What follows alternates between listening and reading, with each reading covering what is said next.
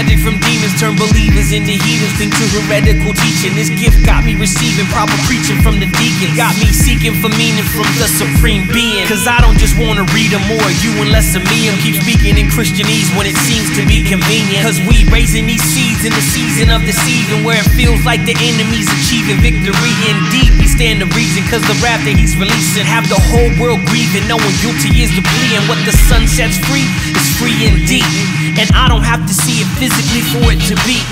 What's true for you is true for me. They ask is truth absolute? Well, absolutely. And an elephant's an elephant no matter where you stand. Or receive it in your mind, or will you put your hand?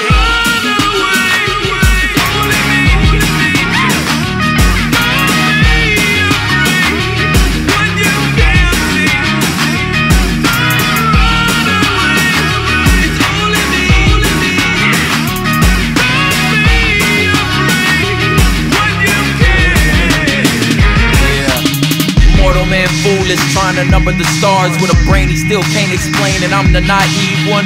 Write your textbooks, tell me what's real. Your entire empire's a card castle. Chill. I don't sit with counterfeits, time waste. Listen, when the truth walks in the building, it's obvious. And walk around town like the solid rock I stand on, made from the same solid rock I place my faith in. Your word ain't earthquake, and y'all ain't talking about Nathan. I see beauty in losing, I know it's kinda confusing. Evident in sacred math and changed hearted evil men. Huh, I am not at all kidding. I don't fear the unknown. I know He's all knowing and all present. Embrace them eternal life lessons. Monuments of glory. Sitting in them sentences. A monstrous monologue. I admonish you to acknowledge this.